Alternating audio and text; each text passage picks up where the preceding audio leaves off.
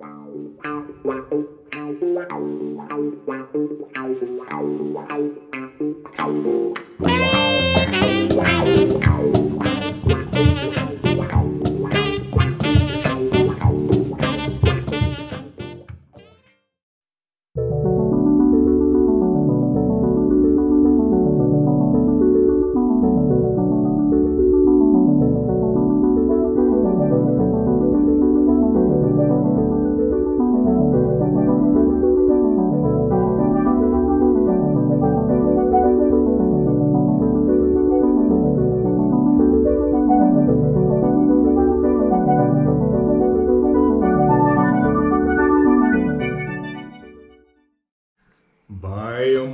Biomorphic forms. You know what we're talking about.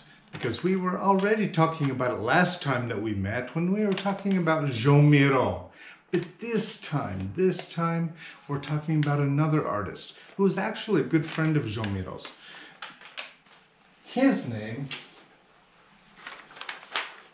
is Jean Arp. Now, Jean Arp, he's another artist that's not so well known, but he's very, very influential. He was really one of the best artists of the turn of the century. We're talking about a hundred years ago or so. So stay with me on this. Jean and Hans, two names, because he was actually from Strasbourg.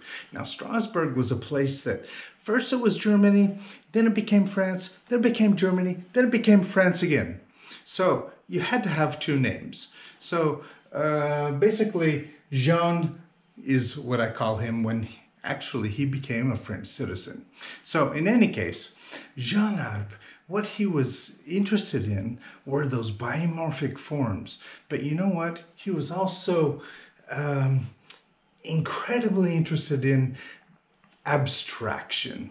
Now, you remember what abstraction is okay? It's something that you are creating that has absolutely nothing to do with what the person who's going to look at your artwork is going to have any kind of memory about. So you're making absolutely something new. Now, the works of Jean Arp, as you can see, are somewhat different or somewhat actually similar to those of Joan Miro.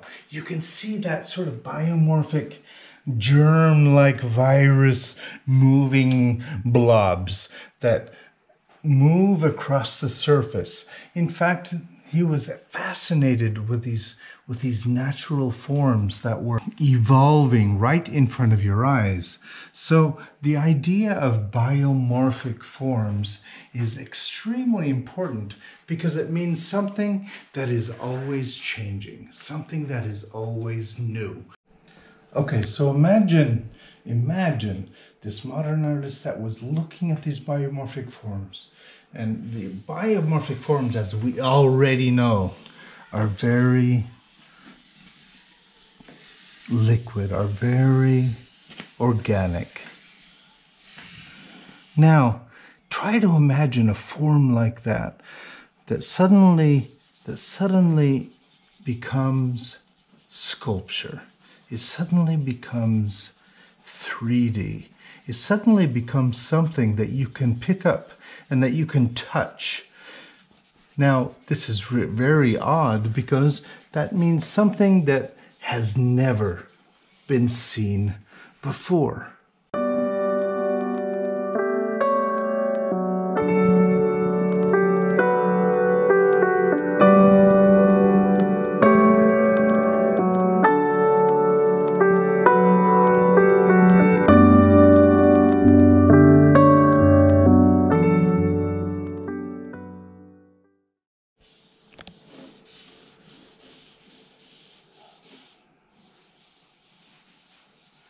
So imagine, imagine Jean Arp's uh, sculptures. Okay, so it's just like his paintings. They're very incredible. That this biomorphic form, very simple, very, very soft, very uh, imaginary, suddenly becomes sculpture. And that's something that I want to propose today. Okay, this is our new project. We can make a Jean Arp sculpture. But how? Well, let me show you. These are the materials we're going to use. Marble. Hey, Dad, do you have some marble? Bring it. No, we're not going to use marble. We're not going to use stone. We're not going to use precious materials. We're going to use socks. Socks, socks, socks. Check out the socks. Okay, socks. Everyone has socks in their drawers. Does this ever happen to you? Why? For some mysterious reason, I put this in the washing machine and only one came back. So, what we're talking about are odd socks. Socks and socks. So, this is what we're going to use as our precious, precious material to create a Jean Arp sculpture. Let me show you how. Okay, the first thing you need to do is choose the right sock. First of all, find a sock. If it's okay with your mom and your dad and with everyone else, make sure that these socks are the ones that, you know, are basically rags. So, you, first of all, you don't want socks with holes in them. And you don't want socks that smell. And you don't want socks that are all dirty. You want socks that are in good shape and that you're probably never ever going to wear again.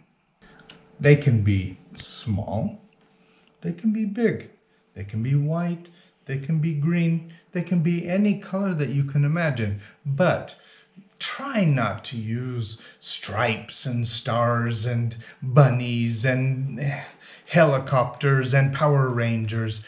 Try to keep your sock very simple, very normal, okay? Because this is what is going to make our sculpture very elegant. Okay, the question is, how can I transform this old solitary sock into a masterpiece of modern art like Jean Arp? Well, let me show you. What you're going to need, first of all, is your sock. Second of all, a nice pile of newspapers. Okay, this is all that you're going to need from the beginning. Now, what is going to happen now is going to be probably one of the most important parts, but not so difficult. You'll see. First, what you're going to need to do is start to take a piece of newspaper, roll it up, ball it up, turn it into a ball, and then pack it tight, tight, tight, tight, and tight. Put it here. Make another one. More newspaper. Wrap it into a ball. Tight, tight, and tight. Then, all you have to do is begin to stuff your sock with the newspaper ball. as tight as you can. Now you need to think about it. You want your sock to become sort of this biomorphic form. So you need to think about, okay, I've got a one ball of newspaper this big. The next one is going to be even bigger. But then another one is going to be small. And then a little small one, and then a little small one. For example, if I take this one, this is going to be a little teeny one. Pack it in nice and tight. Shove it down into the bottom of your sock. And you push it in like this. And you take the other one and you push it in like this. And pretty soon you're going to be making a biomorphic form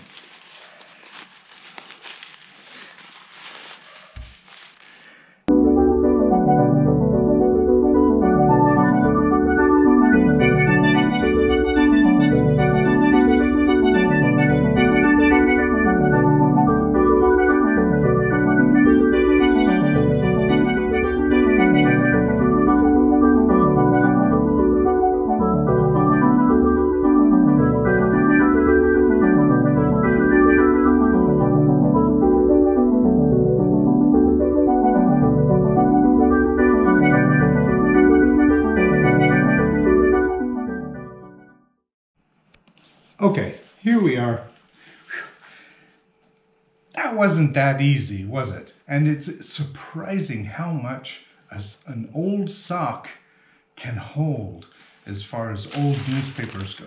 You can wrinkle up a whole bunch and actually an entire newspaper can fit inside.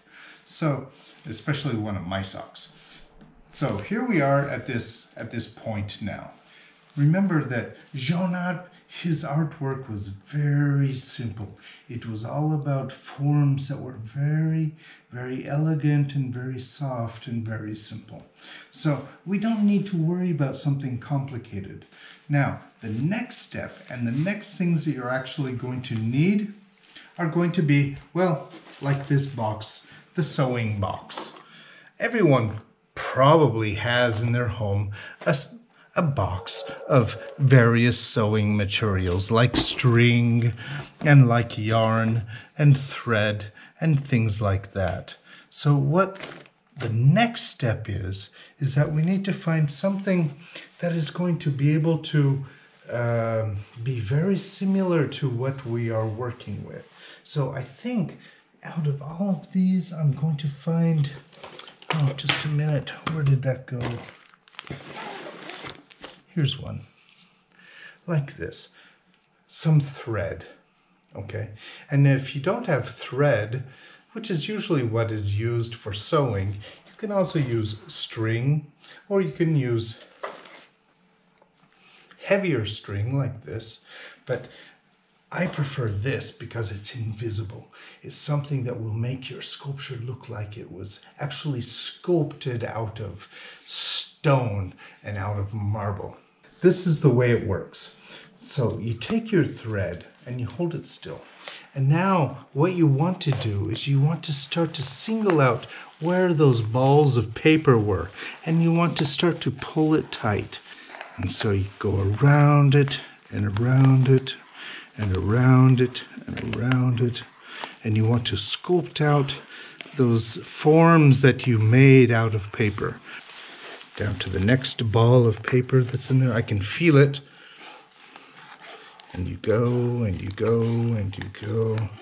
Then down to the next one. And you turn it around and you turn it around turn it around, and you turn it around. Now, this is sort of the hard part. But like I said, nothing is easy, right? Art especially. So you need to pick up the loose ends and you need to be able to tie it into a knot. Okay? And you pull it into the knot and make sure that everything is nice and snug.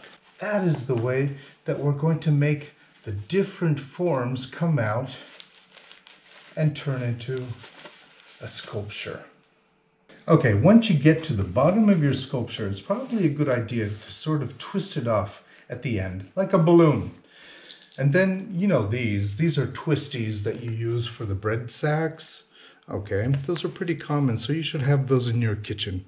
So this is a good way for the moment, temporarily, to close it off, twist it off.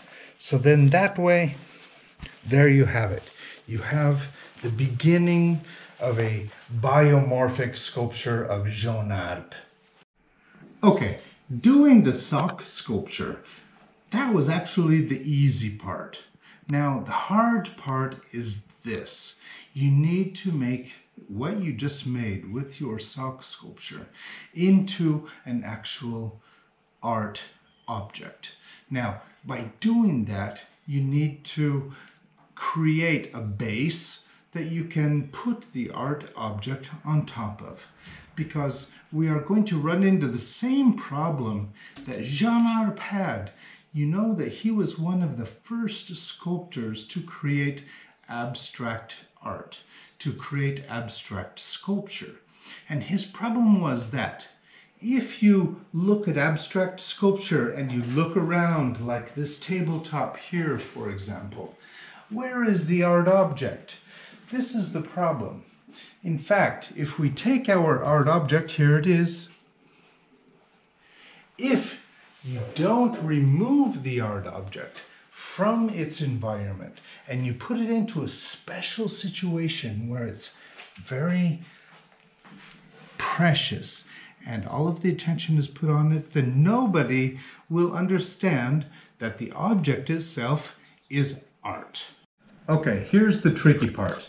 Now, how do we convert this, which just is basically a sock and a blob, into a fine art object. We need to make a stand, an art stand, which can be out of all of these various different boxes that I'm sure that you have in your in your house somewhere. So it can be a shoe box, it can be any type of box, or it can be a container like this, for example. Or it can be even a jar or a tin can. It depends because your sock, you need to kind of carefully consider what kind of stand it needs to look like an actual object of art. Something that big or something like that. Something like this. I don't think so. Or something like that. Hmm. I don't know. It depends very much on your own sock. So, like I said, I'm not going to resolve all, resolve all of your problems. You need to do that yourself. You need to think about it and be careful on what type of box or surface that you can use in order to present your sock sculpture, in order to make it transform into a work of art. Okay, let's go over this one more time, just to make sure that we've got our ideas straight. What we're about to make is a sculpture, an abstract sculpture. Now, if our abstract sculpture is just lying on the table like this, it's a blob. As soon as I put it into a stand, I remove it from the context of ordinary objects and I make it into something very special. Now, it's a work of art. Blob, work of art. Don't go and try to turn your sculpture into a teddy bear or something like that, because then it won't be abstract anymore. Okay, so you want to keep it very simple, very elegant, and very abstract. The stand is this. This is a stand. And the stand can be a lot of different things made out of different different boxes that you have in the kitchen. Things like this can be converted into stands. Let me show you a couple examples. For example, this stand. All I had to do was cut out a hole out of the box and then my sculpture just sort of snugly fits into it. Or this, which is equally as nice, which is a little black sock, which I particularly like. It was a little teeny, teeny sock. And this one is made out of just a yogurt cup, as you can see. In fact, inside, if you open it up, you can see in the back, this is where the part comes out and I wrapped some wire around to hold it still. Okay, so that way that looks like a sculpture. Or this one. This, another simple little sock, which was put onto a tin can. The tin can, of course, I, pung I punched a hole and put a stick through it. And so then I stuck it into the middle. So you need to be creative here. You need to maybe ask dad, ask your mom of what they think. What would be a good solution? Where can I put this? For example, this one was a box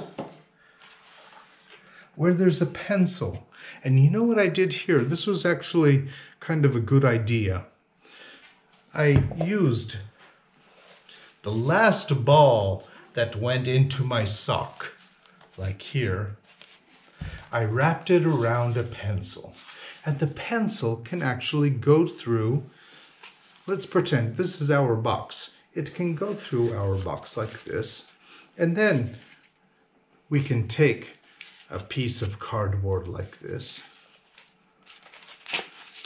one and two, and glue it all together so that this will stay. And so that will give us the effect of this. Also consider the fact that this box can be painted white or it can also be with different strips of paper like this and a little bit of glue. You can turn it into some into a white box much like this one.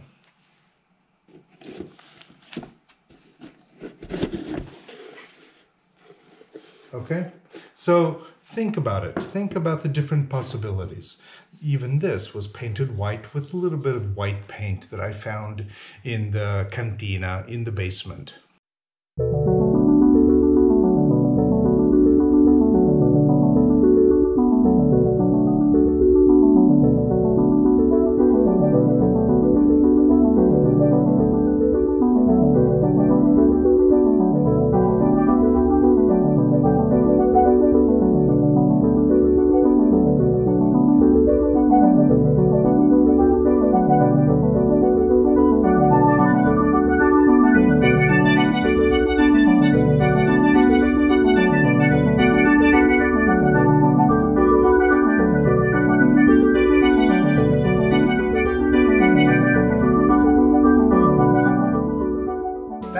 Concludes our second uh, episode of abstract sock sculpture in the style of Franz Arp. I hope you had a good one. Also, I want to make one more note. Um, my cameraman, which is Tazio Kastelic. Can you go like this? Thank you so much for all of your help. We'll see you next time.